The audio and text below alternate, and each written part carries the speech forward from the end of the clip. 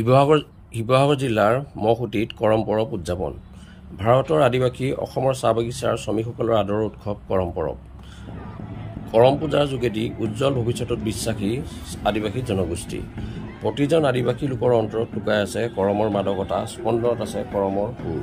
সেই সুৰৰ মূৰ্ছনাত নিগৰিত হয় মাদলৰ চন্দত প্ৰতিজন আদিবাসী লোকৰ অন্তৰত। বিগত বৰ্ষসমূহৰ দৰে এইবাৰো সাত আৰু আঠ অক্টোবৰত মহসুঁতি চাহ বাগিচাৰ আমলাগুৰি পূজা প্ৰাংগণত দুদিনীয়া বৰ্ণাঢ্য কাৰ্যসূচীৰে তৃতীয় বাৰ্ষিক কৰম পৰৱ দুহেজাৰ তেইছ উদযাপন কৰা হয়। কাৰ্যসূচী অনুসৰি সাত অক্টোবৰত পুৱা সামূহিক চাফাই উদ্বোধক শ্ৰীযুত ৰবিশংকৰ ঠাকুৰ প্ৰধান শিক্ষক কোঠাৰ কটা প্ৰাথমিক বিদ্যালয় পুৱা আঠ বজাত বৃক্ষৰোপণ ৰূপক শ্ৰীযুত মেঘনাথ তাঁতী শ্ৰীযুত বলৰাম গোৱালা আৰু শ্ৰীযুত আৰ্টিষ্ট তাঁতী।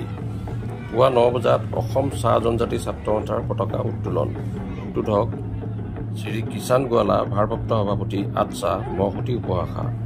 পুৱা ন বাজি দহ মিনিটত চাহ জনগোষ্ঠীৰ কৃষ্টি পতাকা উত্তোলন। উত্তোলক শ্ৰীযুত নকুল ঘাটোৱাৰ সভাপতি উদযাপন সমিতি। সহযোগী শ্ৰী বিচিত্ৰ তাঁতী কাৰ্যকৰী সভাপতি উদযাপন সমিতি। পুৱা দহ বজাত স্মৃতি তৰ্পণ। তৰ্পক শ্ৰীযুত গণেশ মালী সম্পাদক আটছা মহসুঁতি উপভাষা। সহযোগী শ্ৰীযুত আনন্দ টংলা যুটীয়া সম্পাদক উদযাপন সমিতি। সন্ধিয়া ছয় বজাত কৰম ডাল অনা। সন্ধিয়া সাত বজাত কৰম পূজা আৰু কৰম কাহিনী আৰম্ভ। কাহিনী কওঁতা শ্ৰীযুত সুমন ভূমিজ পুৱা দহ বজাত মুকলি কৰম উদ্বোধক শ্ৰীযুত মাধৰাম মোদী শিল্পী পেঞ্চনাৰ। আঠ অক্টোবৰ তাৰিখে পুৱা পাঁচ বজাত কৰমডাল বিসৰ্জন স্থান দিৰৈ নদী। দিনত দুই বাজি ত্ৰিছ মিনিটত বাৰেৰহণীয়া সাংস্কৃতিক অনুষ্ঠান।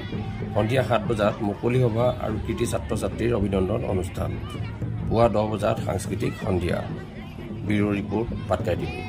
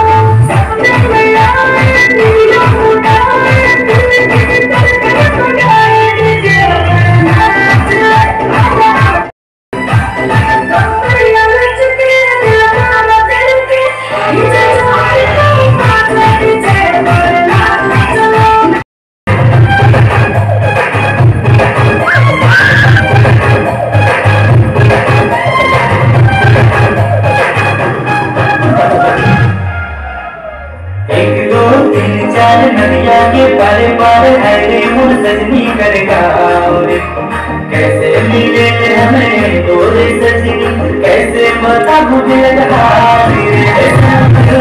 मौके पर देना मोल